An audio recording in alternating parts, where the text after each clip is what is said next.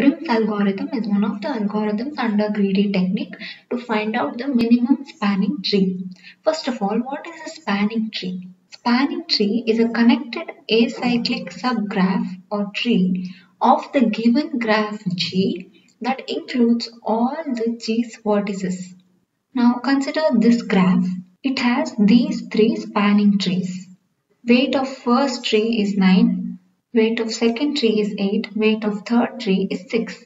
Among all the spanning trees, the one which has the minimum total weight is the minimum spanning tree. Here, the third spanning tree is the minimum spanning tree. Coming to the algorithm, we need to know these two definitions. Fringe edge. In this, one vertex is in partially constructed tree and the other is not. Unseen edge is an edge with both vertices not in the tree. Start with a tree T0 consisting of one vertex.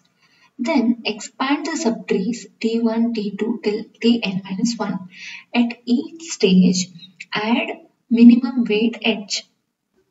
Look for the edge with the minimum weight and that edge should not be already added into the tree. That is an edge in which one vertex is in partially constructed tree and the other is not. So this becomes the greedy step.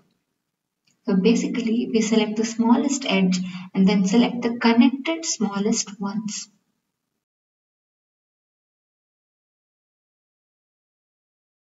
This is a given graph and we need to find the minimum spanning tree using Prim's algorithm. First I'm considering the vertex A. The remaining vertices are these. Among these, which is reachable from A and which is the smallest one? B, A, comma 3 is the smallest one. So from A, I go to B with weight 3. Now the current tree vertex is B of A, comma 3. The remaining vertices are these. Among these, which is the smallest edge? This one. C, B, comma 1. From B, I go to C, the weight is 1. Tree vertex is C, B, comma 1. These are the remaining vertices. Among these, you can see F, B, comma 4 is the smallest. So from B, go to F, weight is 4. Tree vertex is F, B, comma 4. The remaining vertices are these. Among these, E, F, comma 2 is the smallest one. So go to E from F with weight 2. The tree vertex we are considering is E, F, comma 2. The remaining vertex is D, F, comma 5. From F, go to D with weight 5. Now we have covered all the vertices. The weight of this minimum spanning tree is 1 plus 3 plus 4 plus 5 plus 2. That is 15.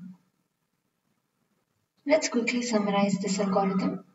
We started off with A, then looked for the minimum edge 3, A to B 3, then from B the minimum edge was 1, B to C 1, then B to F 4, then F to E 2, then F to D 5. We covered all the edges and we found that the weight of this minimum spanning tree is 15.